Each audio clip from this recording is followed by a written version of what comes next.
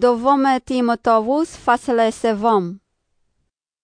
این را یقین بدان که در ایام آخر روزگار سختی خواهد بود زیرا آدمیان خودخواه و پرست و لافزن مغرور و تهمت زن و نسبت به والدین نافرمان و ناسپاس و ناپاک و بیاتفه و بیرحم و غیبتگر و ناپرهیزکار درندخو دشمنان نیکی خیانتکار ظالم و خودپسند خواهند بود و عیاشی را بیش از خدا دوست خواهند داشت.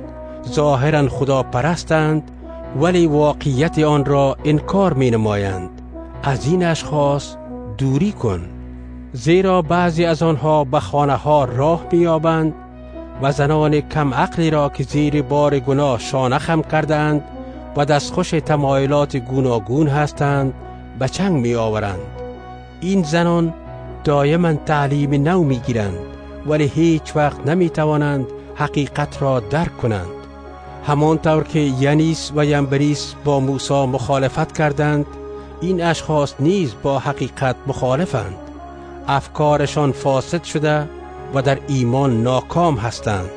اما پیشرفت آنان بیش از این نخواهد بود زیرا حماقت آنها بر همه آشکار خواهد شد. درست همان طوری که حماقت ینیس و ینبریس معلوم گردید. اما تو از تعلیم و رفتار و هدف من در زندگی آگاه هستی و ایمان بردباری محبت و پایداری مرا دیده و همچنین رنج و آزار را که در انتاکیه و ایقونیه و لستر دیدم مشاهده کردی و میدانی چه آزارهایی به من رسید و چگونه خداوند مرا از همه اینها رهایی بخشید.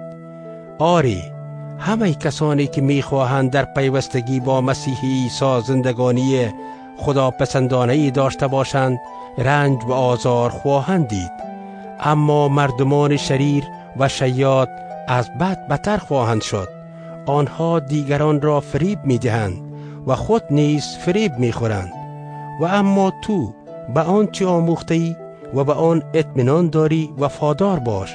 زیرا میدانی از کی آن را آموختی و از کودکی با کلام خدا که قادر است به تو حکمت ببخشد تا به وسیله ایمان به مسیح عیسی نجات یابی آشنا بوده ای. تمام کتاب مقدس از الهام خداست و برای تعلیم حقیقت سرزنش خطا اصلاح عیبها و پرورش ما در عدالت مفید است تا بنده خدا برای هر کار نیکو کاملا آماده و مجهز باشد.